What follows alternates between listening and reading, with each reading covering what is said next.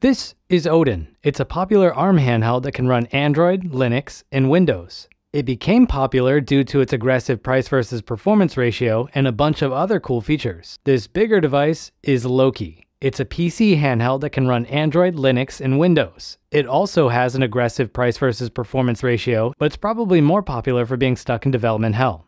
Keep an eye on the channel for more coverage. Taki out.